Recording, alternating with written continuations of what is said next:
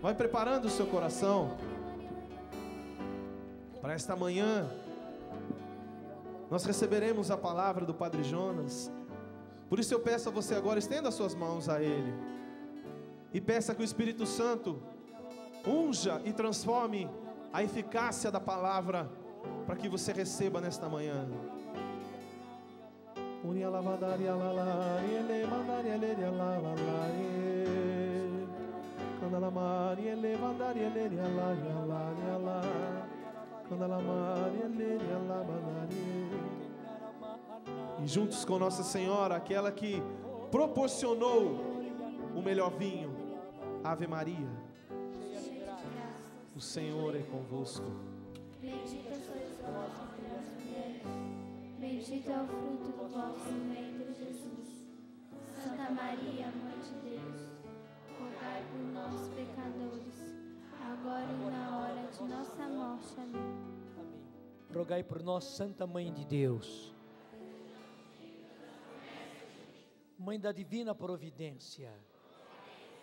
Em nome do Pai, do Filho e do Espírito Santo. Amém. Em primeiro lugar, muito obrigado, porque você veio para esse encontro aqui na Canção Nova, mas muito obrigado mesmo.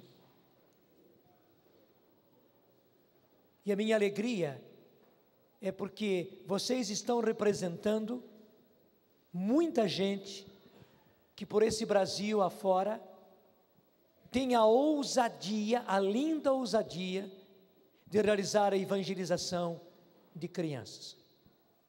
Você entendeu? E porque você entendeu, você está investindo, posso dizer, está investindo a vida nesse tipo de evangelização, que muitas vezes as pessoas acham desnecessário. Já tem escola, já tem catequese, para que isto? Ainda mais no mundo moderno que nós estamos, infelizmente, esse mundo tão mundano, tão descristianizado, você acaba não encontrando lugar. Mas, graças a Deus, você entendeu? Você foi dócil à ação do Espírito Santo e você tem investido a sua vida na evangelização de crianças. Eu já começo lhe dizendo parabéns por isso. É um ministério lindo, você não pode imaginar a importância que isto tem. Nesses dias, e em parte já nessa palestra, nós queremos ajudar você a tomar consciência de toda a beleza desse ministério que você exerce. Parabéns. Deus abençoe você. Que bom que você está aqui na Canção Nova para juntos trabalharmos desse ministério precioso que é a evangelização de crianças. E começo lhe dizendo que, abrindo a Bíblia, na hora que eu vim para cá, eu estava acompanhando a oração, eu vi que nós estamos olhando de, de frente para as bodas de Caná, mas eu abri a Bíblia e veio justamente o último livro do Antigo Testamento, que é o livro de Zacarias. Você virando a página, já começa o Novo Testamento, Evangelho de São Mateus. Então, Zacarias capítulo 3, versículos 23 e 24, que são os últimos do Antigo Testamento. Gente, como é que termina o Antigo Testamento? Termina assim: Vou mandar-vos o profeta Elias, antes que venha o grande e temível dia do Senhor. E ele converterá o coração dos pais para os filhos, e o coração dos filhos para os pais, de sorte que não ferirei mais de interdito a terra. É uma palavra muito importante. Terminando o Antigo Testamento, o Senhor já está falando da segunda vinda de Jesus. Veja, em todo o Antigo Testamento, nós já encontramos o anúncio da segunda vinda de Jesus, não apenas a primeira vinda do Messias, que o Antigo Testamento prepara, mas várias vezes no Antigo Testamento nós encontramos o anúncio e até a descrição da segunda vinda de Jesus. E o Antigo Testamento termina assim justamente, falando da segunda vinda de Jesus. E o que que diz esta passagem final do Antigo Testamento? Vou mandar-vos o profeta Elias antes que venha o grande e temível dia do Senhor. E ele converterá o coração dos pais para os filhos, e o coração dos filhos para os pais de sorte que não ferirei mais de interdito a terra. O Senhor está prometendo que pelo seu Espírito derramado sobre nós nos últimos dias, antes que chegue o temível e grandioso dia do Senhor, Ele vai mandar o seu Espírito. O próprio Jesus explicou que este Elias não é o profeta Elias, a pessoa dele, mas esse Espírito Santo que estava em Elias, que Eliseu pediu, porção dobrada desse Espírito, que estava em João Batista, sim, o Espírito Santo que agiu em João Batista, como agiu em Elias, esse Espírito Santo nos será dado no final dos tempos, e deixa eu dizer então, você está recebendo esse Espírito Santo, você está realizando já a missão de Elias, para converter o coração dos pais para os filhos e o coração dos filhos para os pais.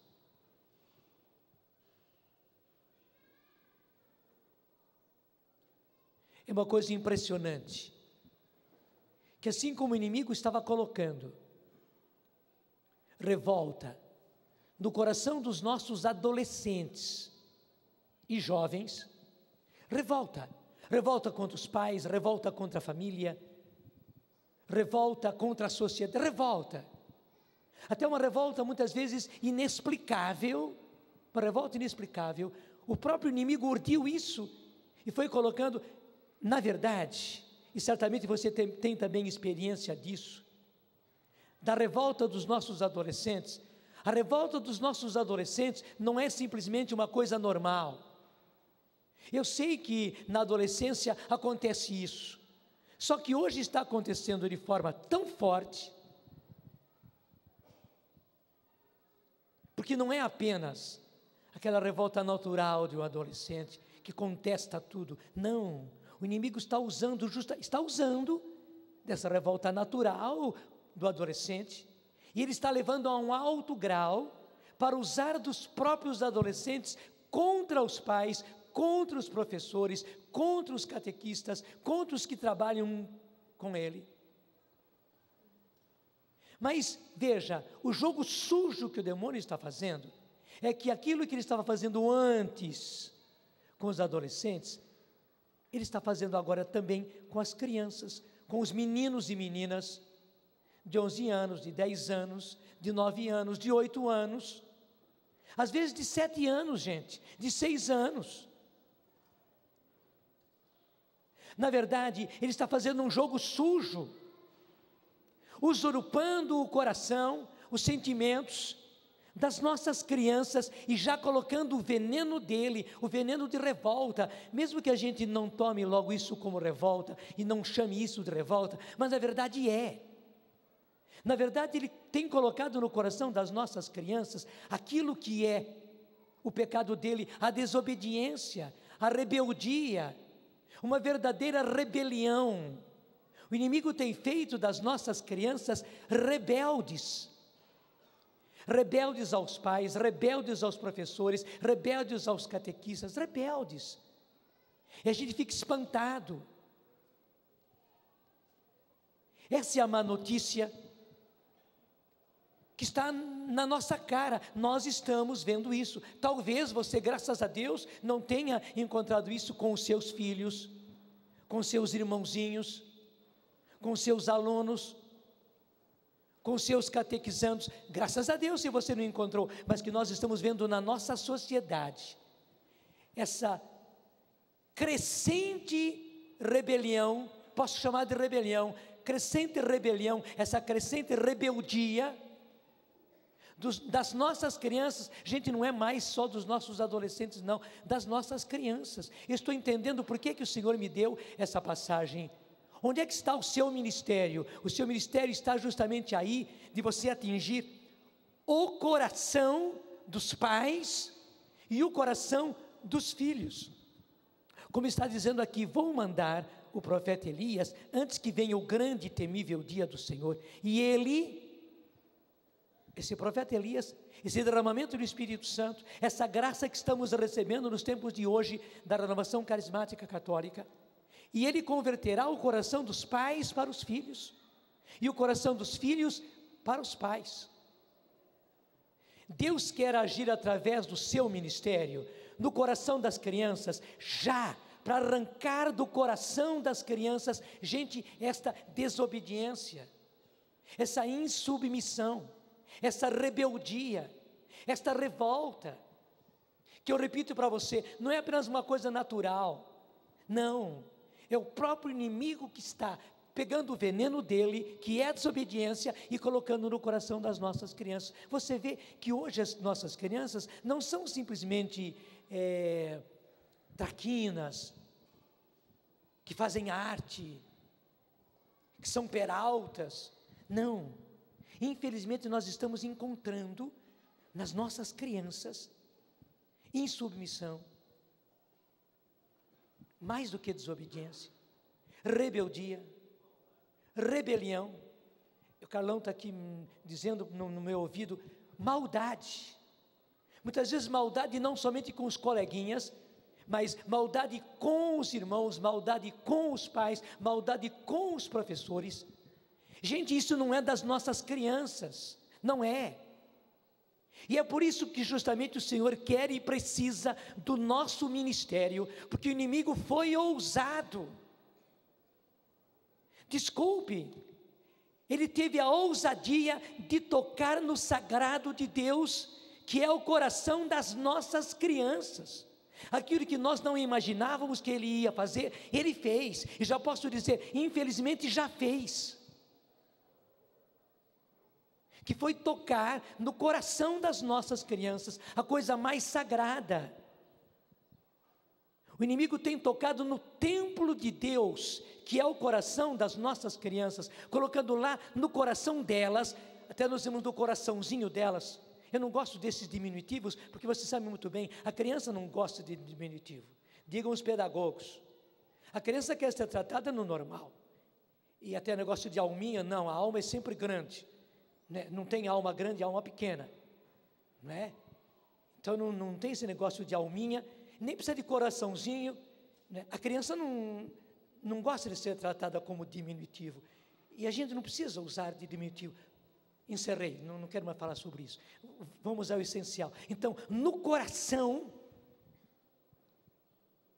das nossas crianças, onde habita Deus, Infelizmente, o inimigo teve a ousadia, e eu digo, a ousadia de chegar lá e plantar ali a semente envenenada dele, que é a desobediência. Ele é o desobediente, ele tem colocado essa desobediência nas nossas crianças. Ele é o rebelde, ele tem colocado essa rebeldia nas nossas crianças. Tem. O que eles fazem hoje, gente, não são apenas coisas normais. E aí você me pergunta, mas qual é o remédio para tudo isso? Aí é que eu trago para você a beleza do nosso ministério. O jeito de evangelizar, o jeito de educar, o jeito de ter possibilidades de educar, o jeito de ter possibilidades de catequizar, de evangelizar as nossas crianças é levar-lhes já o batismo no Espírito Santo. Eu não estou falando à toa. Eu não estou falando à toa. Porque de tal maneira, o inimigo, na sua ousadia, ele já ousou entrar covardemente no coração das nossas crianças, levando maldade, insubmissão, desobediência, rebeldia, rebelião, revolta que o jeito de nós mudarmos tudo isso é levar a graça do batismo no Espírito Santo às nossas crianças. Gente, eu estou, até estou dizendo, nós estamos chegando atrasados. Nós que devíamos ter feito uma pedagogia preventiva, isto é, prevenir, porque hoje, por exemplo, graças a Deus, as nossas crianças já são vacinadas pequenininhas, os nenês já são vacinados.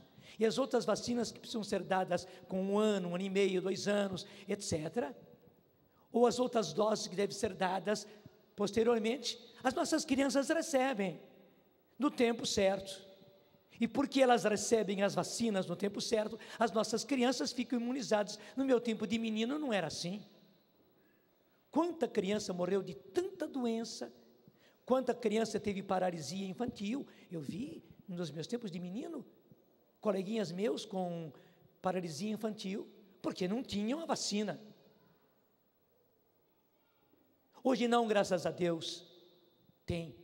Então, isso vem preventivamente para que eles não contraiam essas doenças. Nós devíamos ter feito isso, não estou culpando você, mas eu digo nós, nós igreja, devíamos ter feito isso, gente, 30 anos atrás. Hoje, os homens e mulheres que têm 30 anos já podiam ter sido batizados quando tinham uns 5, 6, 7, 8, 9, 10 anos. Nós devíamos ter feito isso 20 anos atrás. Para que os homens e mulheres que hoje têm 25, 27, 28, tivessem sido batizados no Espírito quando, quando tinham 8, nove, ou tinham sete, ou tinham seis, quem sabe cinco anos. Nós devíamos ter feito isso dez anos atrás. Talvez se nós não tivéssemos entendido isso ainda 30 anos atrás, porque nos anos 70 nós já tínhamos a renovação carismática. E não, fala apenas de renovação carismática. Gente, nós temos, já tínhamos a grande graça do derramamento do Espírito Santo. que era a provisão de Deus para nós, que era a provisão de Deus para as nossas crianças. Assim como existe hoje a provisão do Ministério da Saúde para atender as nossas crianças nas clínicas, com as vacinas, com os remédios, com cálcio, etc, etc. Há uma provisão. E a criança coitadinha que às vezes mora na roça, mora lá no Nordeste, mora lá no sertão, que não tem acesso a isso, coitadinha, ela já cresce raquítica, doente, deficitária na sua saúde, daí até mesmo, por falta de tudo, às vezes até de comida, ela não consegue desenvolver-se na escola, na catequese. Não é que a criança é burrinha, não é, ela é inteligente, mas ela não tem os elementos ela não consegue. Por quê? Porque não recebeu as vacinas, não recebeu os remédios, não recebeu o alimento. Gente, nós poderíamos já ter dado às nossas crianças, que hoje não são mais crianças, porque veja bem, a renovação, vou dizer de maneira diferente, o derramamento do Espírito Santo começou no Brasil nos anos 70. Então, já nos anos 70, na catequese, na educação das crianças dos anos 70, que agora estão tendo 30 anos, 33, 34, são os pais e mães. Já podiam ter vindo batizados no Espírito. Mas vamos dizer, nos anos 70 não aconteceu, não era tão comum, nos anos 80 já era muito mais conhecido esse derramamento do Espírito, já era. Por isso, veja bem, os pais e mães de hoje porque 20 anos atrás, eles estavam com 5, 6, 7, 8, 9, 10 anos, e hoje eles estão com 25, 26, 27, 28, 29 anos. São os pais de hoje, já teriam vindo batizados no Espírito. Pelo menos nos anos 90 que estão aí atrás. Então, os nossos jovens, que naquele tempo tinham 5, 6, 7, 8, 9 anos, agora estão com 15, 16, 17, 18, 19, teriam vindo batizados no Espírito Santo. Por isso que eu digo a você, nós já estamos atrasados. Mas só que não adianta a gente querer eh, chorar o leite derramado. Nos tempos de hoje, nessa nova evangelização, que o Papa João Paulo II, ele está precisando que nós façamos isso em águas profundas, deixe-me dizer, ir pescar em águas profundas, ir lançar as redes em águas profundas, é também ter a ousadia de fazer uma evangelização carismática com as nossas crianças. Porque isso é uma ousadia. Desculpe falar, às vezes nos nossos meios de igreja, de pastoral de igreja, de catequese da igreja, isso soa como um escândalo. Mas como fazer uma evangelização carismática com as nossas crianças? Sim, gente, hoje é necessário. E até, repito, nós já estamos em atraso. Nós não nos apercebemos quando o ladrão, quando o lobo já veio na frente, Deus já nos tinha dado a graça do batismo no Espírito Santo. Nós não vacinamos as nossas crianças, nós não imunizamos as nossas crianças com o batismo no Espírito Santo há 10 anos atrás, há 15 anos atrás, há 20 anos atrás. Não fizemos. Estamos em atraso, repito. Mas agora, quando nós percebemos que o inimigo já teve a ousadia de chegar ao coração das nossas crianças, e lá colocar o veneno dele, da insubmissão, da desobediência, da rebeldia, gente que não é, repito, uma coisa apenas natural, as nossas crianças hoje não são apenas arteiras, as nossas crianças hoje não são apenas arteiras, como me soprava o Carlão aí que trabalha com criança. O inimigo teve a ousadia de levar maldade. Gente, é o oposto de criança. Maldade não é próprio de criança. O inimigo teve a ousadia de levar maldade para o coração da criança, tanto quanto tem levado sensualidade. Sensualidade não é próprio de criança, nem a idade dela é para isso, nem a biologia dela é para isso, mas o inimigo foi sujo e levou sensualidade, levou sedução. Há crianças que acabam se tornando sedutoras, infelizmente. Cópia não sei de quê, mas que tem todo um comportamento sedutor, tem, é ousadia do inimigo, sujeira, covardia dele. Nós estamos em atraso. Agora, você fala já, é, para tirar esse atraso e para atingirmos as nossas crianças, gente, antes que seja pior, você pai, você mãe, você professor, você catequista, você que trabalha no Ministério de Evangelização de Crianças, antes que seja tarde, nós precisamos realizar aquilo que está aqui no final do Antigo Testamento, abrindo o Novo Testamento, que é levar esta graça, aquilo que João Batista anunciou. João batizava com água, eu batizo com água, mas vós sereis batizados no Espírito Santo. Hoje, gente, ou a gente leva a graça do batismo no Espírito Santo para as nossas crianças, ou nós as perdemos. Você, pai, você, mãe, vai perder o seu filho a sua filha. Você catequista, você professor, você professora, nós sociedade, nós igreja, vamos perder as nossas crianças se nós não as batizarmos cedo no Espírito Santo. Fala, Carlão, depois eu continuo. O senhor estava falando justamente das, é, das crianças, e eu, eu quero retomar isso, porque isso faz parte, que essa foi uma grande tentação do inimigo, fazer com que nós é, não, não colocássemos as nossas crianças nos, nas suas devidas idades.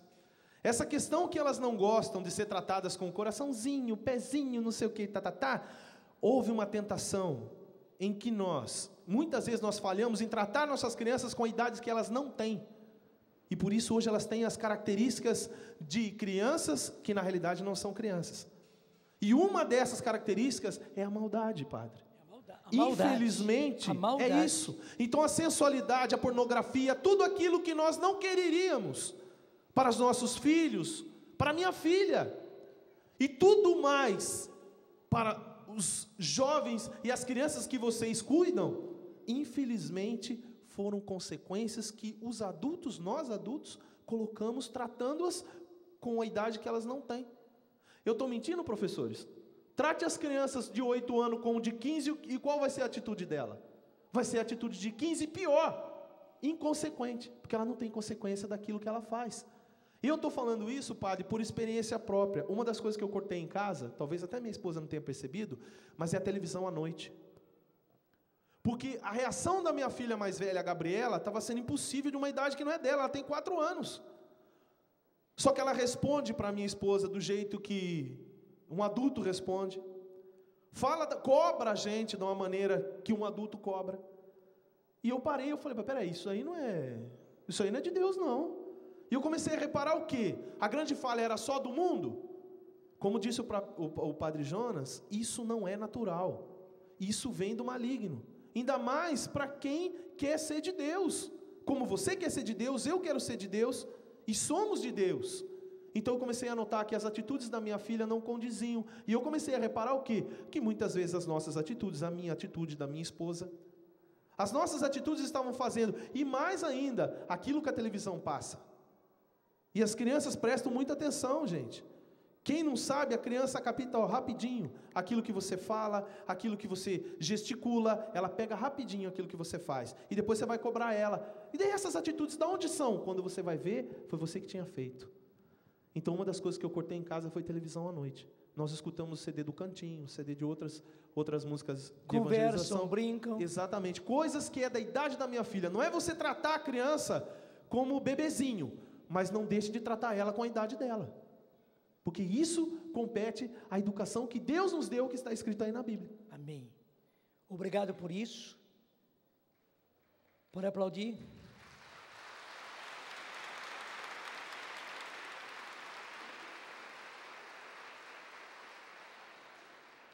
Talvez você estranhe, eu estou falando de levar a graça do batismo no Espírito Santo para as nossas crianças, mas graças a Deus eu tenho feito isso há 30, há 20, há 10 anos atrás. Eu tive uma grande alegria agora, no Congresso da Renovação. Chegou um rapaz para mim, que hoje está fazendo teologia, num seminário. Veio me agradecer muito, muito, muito, muito, muito, muito, porque nessa época ele tinha 11 anos, portanto, 10 anos atrás, e ele tinha um radinho, e na casa dele, o pai e a mãe não eram muito disso, não.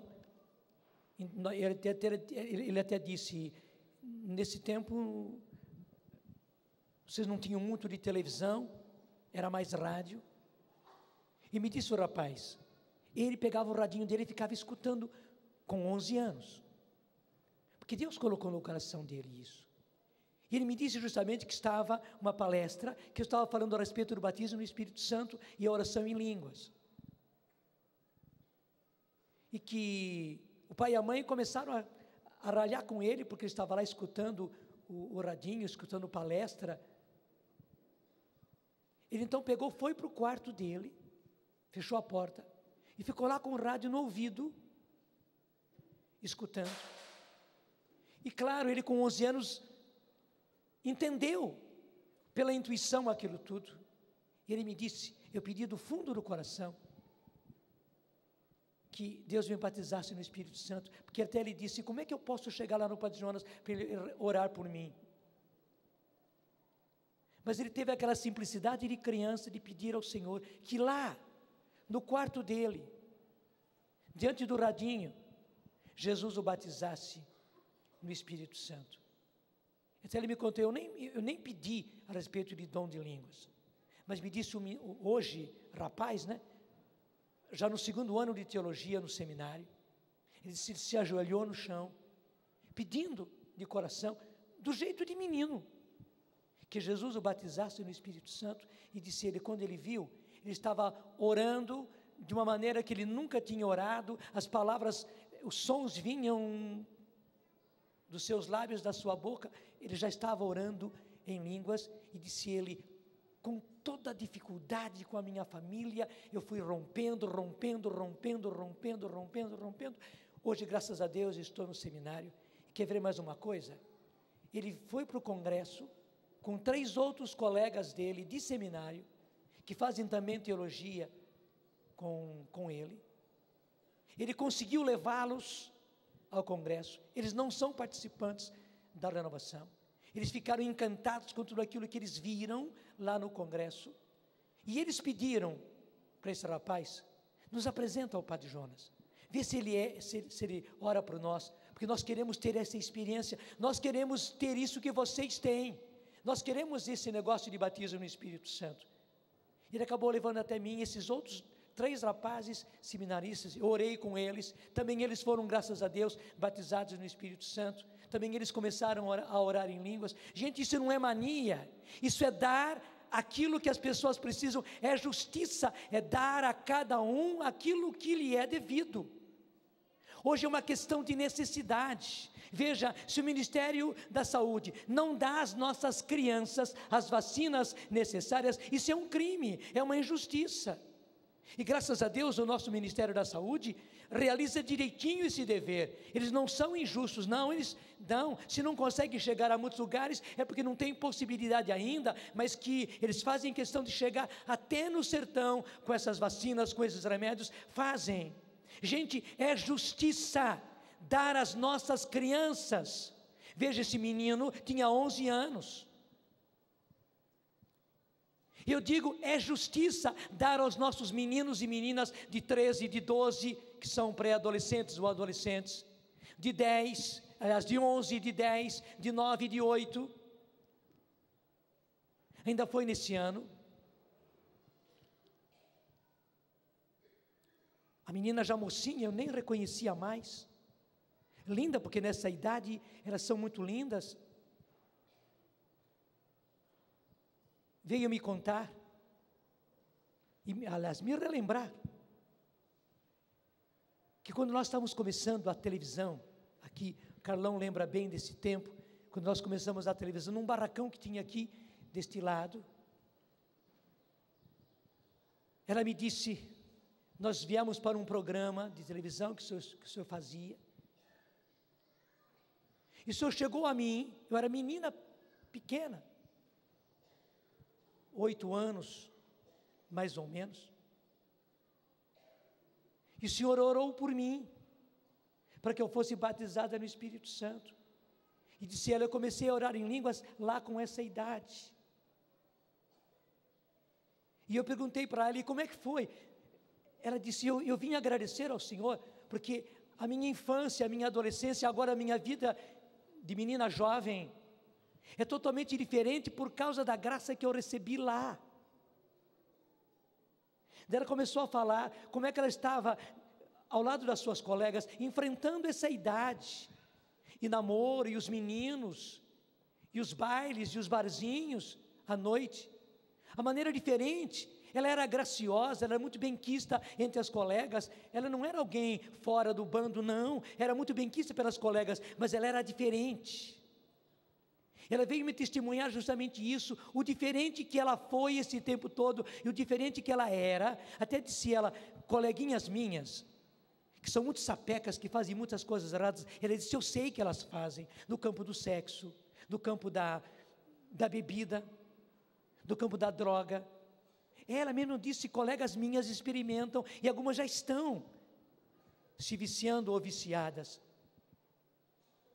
Mas elas me veem diferente elas não me rejeitam. Várias delas, que fazem coisas erradas, na verdade querem ser como eu, me, me dizia essa menina. Gente, é isso mesmo.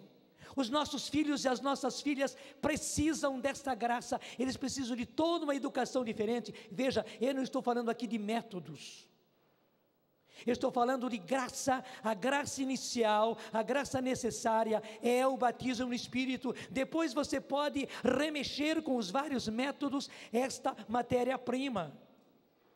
Mas eu digo, sem a matéria-prima, que é o batismo no Espírito Santo, vai ser inútil, porque inclusive o mundo chegou antes. Quando eu digo o mundo, é a televisão, o rádio, as músicas, os disquinhos, os programas, a internet os videogames.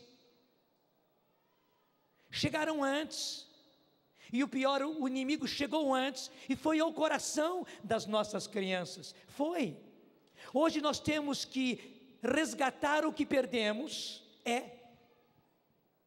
Temos que reparar o prejuízo e reconstruirmos em cima do prejuízo que nós já tivemos. E veja bem, para safar-nos da perda que nós já tivemos, para resgatar as perdas que nós já tivemos no coração das nossas crianças, e para construirmos nelas uma educação, primeiro, sadia, que veja, só pode ser cristã.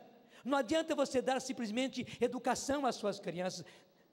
Hoje não resolve. Ou as nossas crianças são evangelizadas. Evangelizada não, não quer dizer apenas falar de Jesus, mas evangelizado é como você pegar uma salada, do jeito que eu gosto, né?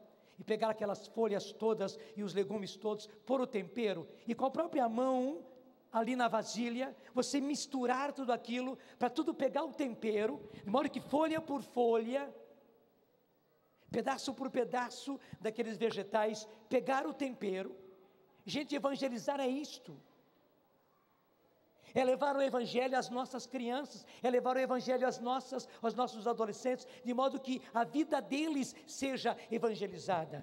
Eu diria, é preciso criar um, um, ambiente evangélico, entenda bem, não é dos evangélicos, um ambiente evangélico para as nossas crianças, porque é o único jeito deles terem uma educação sadia e virem a ser adolescentes, jovens e homens e mulheres sadios. Porque não é à toa que o inimigo já entrou na vida deles, no coração deles. Desculpe, levando até mesmo safadeza. Tem muito menino safado, tem muita menina safadinha, coitada. Porque o inimigo foi ousado, está sendo ousado, e ele está investindo nas coisas do mundo, no, nos programas do mundo, na, nos programas infantis do mundo, nos, nas revistinhas do mundo, nos, video, nos vídeos do, do mundo, nos CDzinhos do mundo, nos games do mundo. Ele está investindo, investindo, investindo, está entrando no coração, na vida das nossas crianças. Nós já estamos em atraso e é preciso recuperar o atraso. Nós já tivemos perdas e perdas e perdas, temos que resgatar tudo isso. É como se as nossas crianças estivessem doentes, temos que tirar a doença, depois dar a elas também a vacina e dar a elas também os remédios, os alimentos para recuperar. Gente, é um enorme trabalho. E eu digo a você, isso só se pode fazer fazer pelo batismo no Espírito. E dizendo isso, estou animando você. Eu sei que muitas vezes lá na sua paróquia, lá na sua cidade, você parece o patinho feio, que faz um trabalho diferente dos outros, porque os outros seguem apenas métodos, seguem apenas organização, e você vem com essas histórias de orar com as crianças, de levar as crianças a, a orar, a, a, ir à Bíblia. Pior ainda, esse negócio de levar as crianças ao batismo no Espírito Santo, oração em línguas. Mas eu preciso dizer a você: você não é o patinho feio. Você é o agente de saúde que está lá para resgatar uma perda que eu diria seria irreparável se não fosse a graça do batismo no Espírito Santo. Vou repetir. Você não é o patinho feio, você é o agente de saúde que está indo com a graça necessária. Obrigado, você entendeu?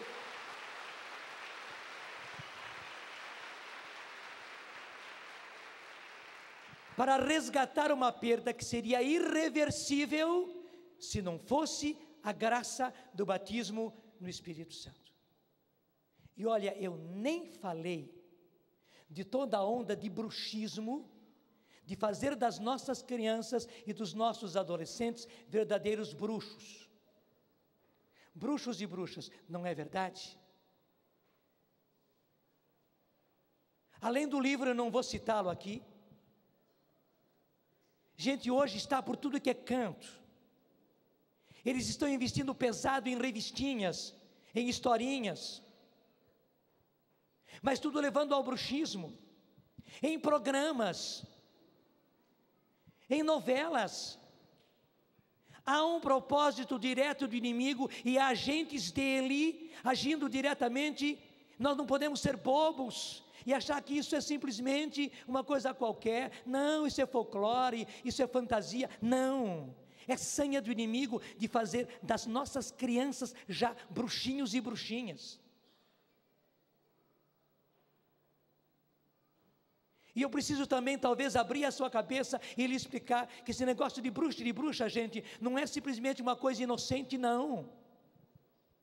São pessoas usadas pelo inimigo para manipular poderes espirituais, mas esses poderes espirituais não são os poderes espirituais de Deus, não, são os poderes malignos. O próprio catecismo da Igreja Católica fala a esse respeito do bruxismo e toda sorte de esoterismo, onde as pessoas são levadas a manipular poderes ocultos. E esses ocultos vem dizer para nós que não são poderes espirituais de Deus, não, são do maligno. E as nossas crianças estão sendo levadas já cedinho para isso. Ao mesmo tempo, eu preciso dizer a você que aquele que está em nós é maior do que aquele que está no mundo. Porque senão pais, educadores, professores, catequistas, evangelizadores ficam apavorados e diz: "Mas como é que nós vamos fazer?" Se tem essa onda de desenhos, de revistinhas, de vídeos, de games, atacando as nossas crianças, como é que nós vamos fazer? Gente, hoje o único jeito é imunizar. Assim como no campo da saúde, existem tantos vírus, existem tantos micróbios espalhados por aí, atingindo a saúde das nossas crianças. Se elas não forem vacinadas, elas pegam todas essas doenças, desde sarampo, catapora até paralisia infantil e coisas piores. Igualmente, Deus nos dá hoje a grande graça, porque nós pais, nós educadores, nós catequistas, nós evangelizadores, não conseguimos controlar as coisas, porque as nossas crianças, eu vi que o Carlão disse, ele na casa dele já não vê mais televisão à noite. Tudo bem, mas as crianças vêm à tarde, vão à casa dos coleguinhas, vão à escola, elas têm que ser crianças, crianças sociais, têm que ter coleguinhas. Eles não ouvem em casa, mas ouvem na casa dos coleguinhas. Eles não cantam em casa, mas cantam na escola aquelas músicas. Eles não leem em casa, mas leem na casa do coleguinha. Às vezes é obrigado lá na escola a ler e fazer coisas de bruxismo. Não somente a festa das bruxas, mas muitas outras coisas. E você sabe muito bem que, infelizmente, muitíssimas das nossas escolas, também escolas nossas católicas, chefiadas, dirigidas por padres e freiras. Mas que na verdade eles não têm esse conhecimento, onde toda a educação é uma educação de nova era. É doloroso, gente, mas eu preciso dizer. Há muitas escolas, infelizmente, não somente as escolas leigas, mas também as escolas chamadas religiosas, porque são de religiosos e religiosas, mas toda a educação, a fundamentação, as apostilas deles são de nova era, toda a mentalidade nova era. Eu não estou dizendo que eles são maus, mas eles não têm esse conhecimento, acho que não é nada, isso é bobagem, isso é fanatismo dos carismáticos. Estão ministrando para as nossas crianças uma, uma educação e toda uma prática de nova era. E como fazer? Como é que pai faz? Como é que mãe cristã faz? Como é que catequista faz? Como é que nós evangelizadores fazemos? Gente, eu diria humanamente seria impossível. Mas Deus deu o remédio, Deus deu a imunização. E co como é que as nossas crianças vão ser imunizadas disso? É pelo batismo no Espírito. Se a criança recebe e não tenha medo, criança de 5 anos, de 6 anos, eu diria até mesmo de 4 anos, de 3 anos, de 2 anos, já pode receber a graça do batismo no Espírito Santo. Pode, você pai, você mãe, você catequista, você evangelizador, pode orar para a criança já ser batizada no Espírito Santo, pode. E o bonito é que as nossas crianças são, elas não têm nenhuma dificuldade. Mas, gente, se eles fazem bruxismo, se eles fazem consagração, se eles levam a terreiros, se eles levam a centros, se na escola eles fazem verdadeiras consagrações ao inimigo, por que é que nós não vamos pedir a graça do batismo no Espírito Santo para nossa criança, para nossas crianças, para os nossos filhos, enquanto eles estão levando e entregando gratuitamente os nossos filhos para o inimigo? Estão oferecendo para o lobo as nossas crianças. Eu repito, é para assustar, é para assustar, mas não é para ficar assustado, é para levar esse susto e dar às nossas crianças a graça que Deus já deu, que é o batismo no Espírito Santo. Nesses dias, faz 15 dias, no máximo 20, o Eto, que muitíssimos de vocês conhecem, fez no mês de setembro do ano passado uma cirurgia do estômago, e por isso hoje ele, deve ser, ele precisa ser muito cuidadoso na alimentação dele. Então, que vocês viram que o Eto emagreceu. Se ele come alguma coisa estranha, diferente, ele já passa mal. O estômago dele não, não, não aceita. Ele tinha comido alguma coisa, e o Eto passou dois, três dias, mal, mal, nada parava no estômago dele. Nós estávamos na mesa do café da manhã, e mais uma vez o Eto não conseguiu tomar nem mesmo o alimento na manhã. Daí a Pamela, netinha do Eto, um ano e meio, a filha da Paula e do Felipe, chegou, e criança é criança, né? Toda festiva foi para o colo do vô. Gente, imediatamente, aquela criança já foi com a mãozinha na testa do vô, e ficou aquele jeitinho de criança. Nós paramos na cozinha, vendo o que ela estava fazendo. O Eto ficou branco de ver. Eu disse para o Eto: ela orou por você. Ele disse: Eu acredito. E disse: Você vai ser curado pela oração dela. Gente, naquele café da manhã, o Eto já tomou os alimentos, já não devolveu.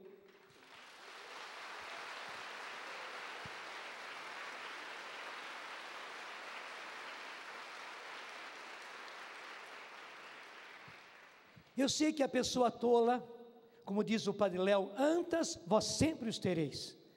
Né? Eu sei que as antas sempre vão dizer: não, isso é mania de vocês, é que vocês é, fazem e as crianças imitam. Deixa as antas falar. Antas sempre os tereis, e infelizmente hoje nós temos gente em quantidade, e infelizmente na igreja. Deixa as antas falar. Vamos fazer aquilo que o Senhor nos manda fazer. Por isso que eu preciso dizer, você pai, você mãe, mas você catequista e você evangelizador de criança, não faça simplesmente uso de métodos. Não faça apenas brincadeiras, não faça apenas teatrinhos. Eu sei que tudo isso é válido e tudo isso é necessário, é a matéria-prima para a nossa evangelização. Mas veja, tudo isso é matéria-prima para levar o essencial. O essencial é levar a graça do derramamento do Espírito Santo, diga em outras palavras, a graça do batismo no Espírito Santo e mantê-las batizadas no Espírito Santo desde crianças. Isso é o essencial. Por isso, você, evangelizador infantil, precisa ser carismático e não ter medo de usar os dons. Usar os dons para a cura física das nossas crianças. E elas são curadas porque elas não têm nenhum empecilho, nenhum obstáculo para a cura interior das suas crianças, porque muita criança que vem para a sua catequese, que vem para o seu grupo de oração, que vem para o seu trabalho, coitadinhas, já vêm rebentadas, por rejeição no ventre materno, por um ambiente terrível na própria casa, por causa de briga de pai e de mãe por causa de prostituição, de adultério em casa, por causa de bebida em casa, por causa de droga em casa, por causa do ambiente terrível que acontece em casa, por causa de pais separados. Crianças, crianças de quatro anos, de cinco anos, de seis anos, a gente vem rebentadas já. necessitando de uma cura interior profunda, por amor de Deus, reze. E é simples rezar por criança, é simples, você nem precisa de grandes argumentos, de grandes orações, porque agora eu posso falar: a alminha da criança é alminha, é igualzinho flor, porque tem flor e florzinha. Então tem a rosa grandona e tem o botãozinho de rosa. Então, porque a nossa criança é um botãozinho de rosa, é fácil orar pela criança.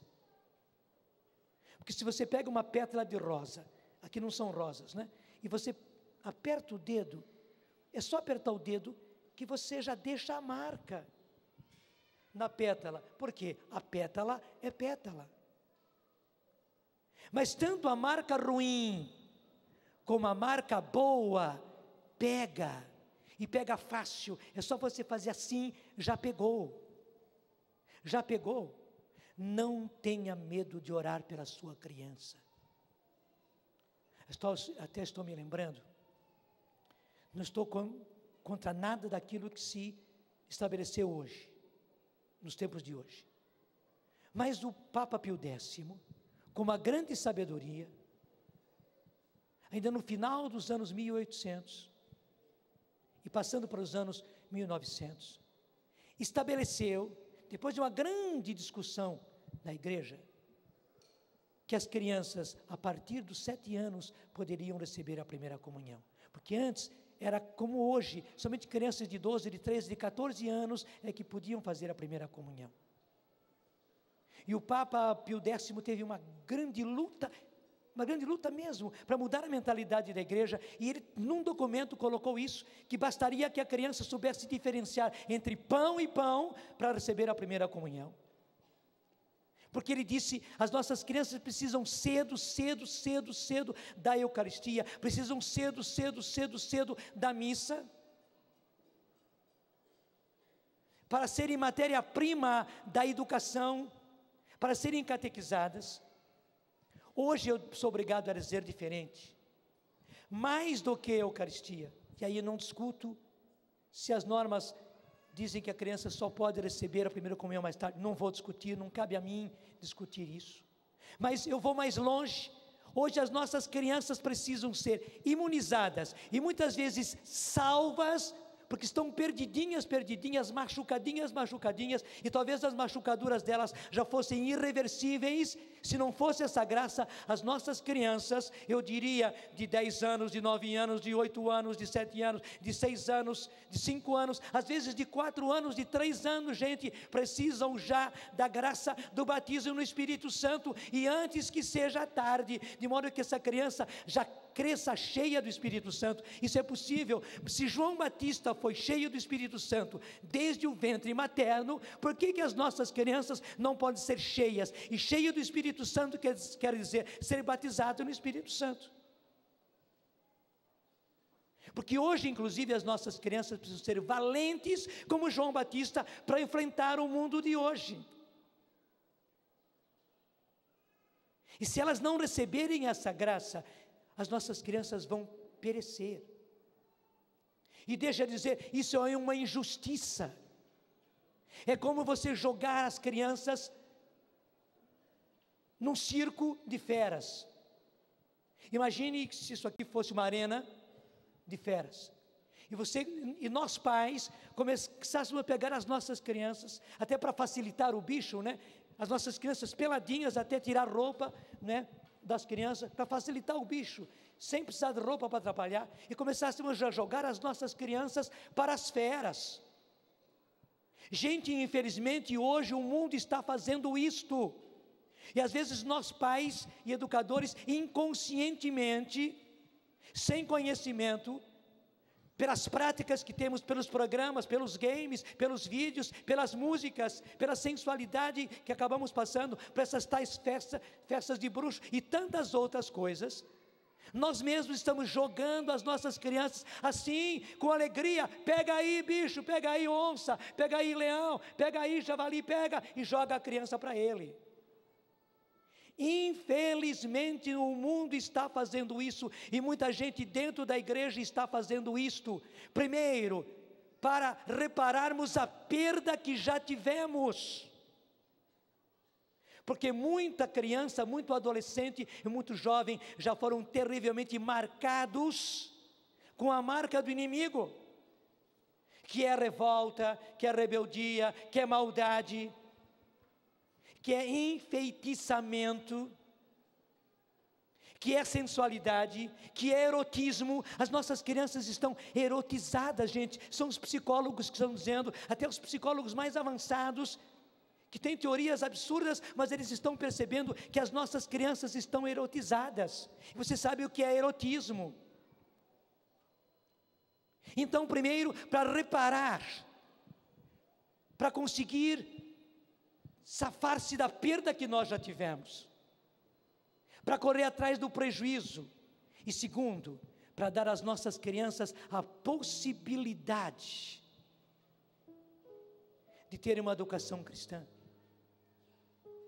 de serem crianças sadias, veja, até para serem crianças sadias, adolescentes sadios, jovens sadios, homens e mulheres sadios, simplesmente com uma vida sadia, gente, eles precisam hoje da graça do batismo no Espírito Santo, senão serão como crianças que têm paralisia infantil e todas aquelas outras doenças que fariam das nossas crianças deficientes. Está me entendendo? Eu estou usando tantas comparações para você entender. É triste você ver crianças deficientes, porque não receberam a vacina, porque não receberam os remédios, porque a mãe tomou o remédio errado. É triste ver isso. Muitas das nossas crianças já estão nessa situação. Então, primeiro, para correr atrás do prejuízo, e segundo, para dar às nossas crianças a possibilidade de uma educação saudável, nós, educadores, nós, evangelizadores infantis, precisamos ser carismáticos, termos a graça do batismo do Espírito Santo, termos os carismas e os usarmos com as nossas crianças, claro, do jeito delas, com a pedagogia própria para elas, mas sem medo, eu repito: se João Batista já pôde ser cheio e foi cheio do Espírito Santo desde o ventre materno, hoje as nossas crianças não apenas podem, elas precisam, é uma necessidade que elas sejam batizadas no Espírito Santo. E você não pode ter medo de orar pelas crianças, para que elas tenham essa graça. Você não precisa ter medo de orar para a cura interior, porque muitas vezes essa criança não é simplesmente rebelde, não. Ela é rebelde sim, mas a rebeldia dela está, está, sendo causada por uma grande marca, uma grande ferida que ela traz, e onde o inimigo já se aninhou. E você tem a graça de já poder rezar por essa criança e ver milagres acontecerem, transformações acontecerem. Você é um agente de Deus para a salvação das suas crianças. O seu trabalho não é um trabalho qualquer. O seu trabalho não é apenas fazer teatrinho. Eu sei, você vai usar tudo isso: teatrinho, fantoches, música, tudo isso. Quanto mais criatividade, melhor. Mas não adianta só a criatividade, não adianta apenas fazer as coisas bonitas. Não, tudo isso precisa ser o meio de levar o batismo no Espírito Santo, levar o Espírito Santo, levar o carisma, levar a graça, levar a cura, levar a libertação, levar a verdadeira educação, fazer um ambiente evangélico. Você entende? Já expliquei para as nossas crianças, porque muitas vezes elas não têm em casa. As nossas famílias muitas vezes são verdadeiramente pagãs. Elas não têm um ambiente cristão, evangélico, na própria casa. Não tem. Muitas vezes o que Deus quer é que essas crianças formadas por nós sejam o fermento de evangelho, o fermento de salvação, o fermento de cristianismo na própria casa dela. Então, por amor de Deus, faça, faça, faça. Não tenha medo de ser uma pessoa cheia do Espírito Santo, usando os dons do Espírito Santo em favor das nossas crianças, antes que seja tarde, antes que nós as percamos. Mas nem ponho isso mais. Nós podemos fazer uma geração de santos e Deus quer fazer uma geração de santos a partir das nossas crianças. Este é o propósito de Deus. Enquanto o propósito do inimigo, porque já sabia do propósito de Deus, que era uma geração de santos, ele veio para perder as nossas crianças. Nós não temos medo o que está em nós é maior do que aquele que está no mundo. E nós temos que entrar ousadamente no campo de batalha para reconquistar o que é nosso e o que é de Deus. E segundo, dar a Deus o que é de Deus. As nossas crianças, os nossos filhos são de Deus e devem ser dados para Deus. Deus quer fazer com eles uma geração de santos. E você é justamente o agente de Deus para fazer do seu filho, da sua filha, do seu catequizando, do seu educando, da criança da qual você cuida, um santo. Nós estamos aqui para formar uma geração de santos. Por isso eu digo aquilo que eu falei no começo da palestra: Deus abençoe você. Deus abençoe você. Parabéns a você. Você está fazendo a obra mais linda do mundo de hoje. Padre, eu lembro quando o Senhor disse na renovação carismática, aliás, aqui, né, no Rincão, quando o senhor descobriu da figueira na vinha. Sim. O senhor lembra? Que era o papel da renovação carismática na igreja. Sim. O patinho feio, ele é o que no meio dos patos? O feio. Não, e depois ele se torna o quê? Se torna Ah. o quê? O cisne. O cisne. A natureza dele não era pato, a natureza dele era cisne. Você, como agente de sanidade pública do céu, olha que beleza, gente. Você é cisne, porque você tem que levar o Espírito Santo para os seus filhos. Você para não é crianças.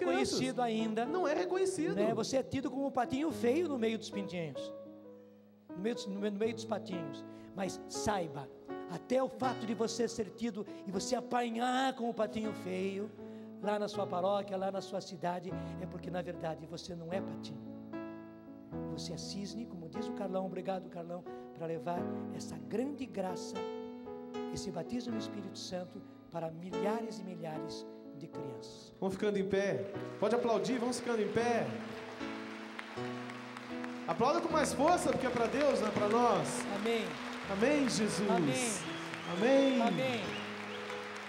E agora, como cisne, que é da nossa natureza, ser cisne. A música com, com o Padre Carlos, eu- desculpa, mas eu, eu sempre enrosco com o Frei, e no meu coração sempre vai ser Frei. Aí, o, o Carlos né, é o Frei do cantinho, não é mesmo, gente? É o Frei do cantinho, é, vou fazer o quê, né? Deus deu, é, né? Então a música que o Frei nos ensinou, né, que já é antiga, que nós cantávamos no grupo de oração, com muita alegria e com muita fé, vamos orar com essa música, para quando nós chegarmos em casa, nós cantamos primeiro com os nossos filhos e depois na nossa evangelização. Pensamos ao Pai do céu, pensamos à Mãe do céu, que por meio de Jesus venha até nós o Espírito Santo. Cantemos. Papai do céu, mamãe do céu, manda, manda por Jesus o teu. Mais uma vez. Papai do céu, mamãe do céu, manda, manda por Jesus o teu Espírito. Mais uma vez. Papai do céu, mamãe do céu,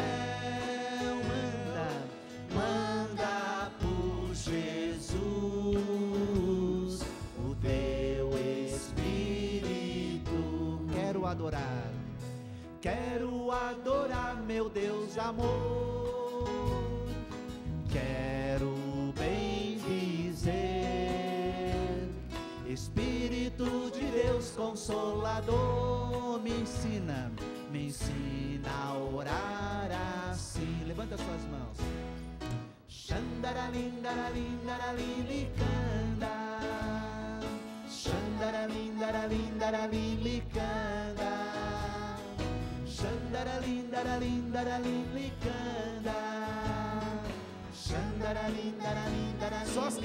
agora, vai.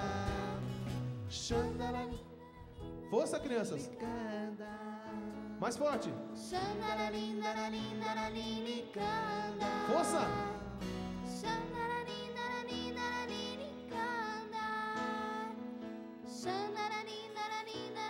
Agora as crianças mais velhas, juntos. Xandaralindaralindaralilicanda Xandaralindaralindaralilicanda. Xandaralindaralindaralilicanda. Xandaralindaralindaralilicanda. Papai do céu, papai do céu, mamãe do céu,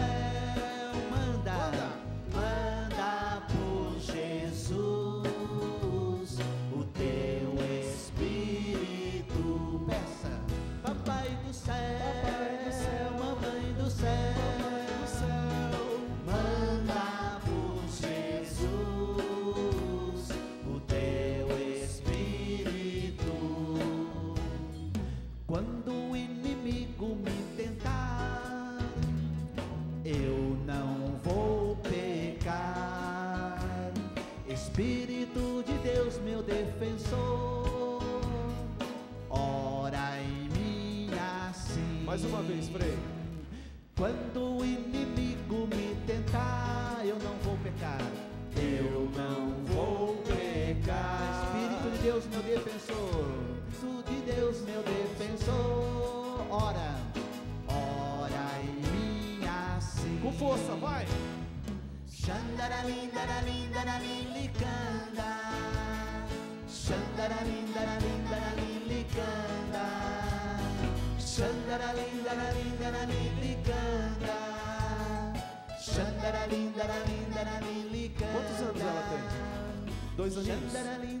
Aqui, gente, ó. Dois aninhos está cantando.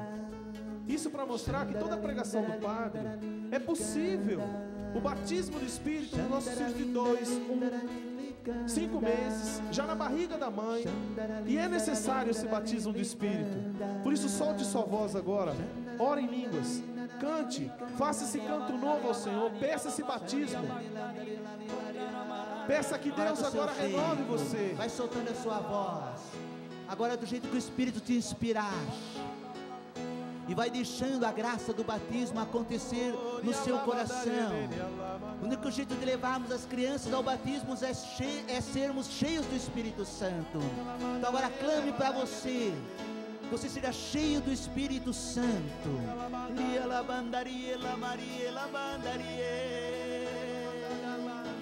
Maria, maria, maria, la maria,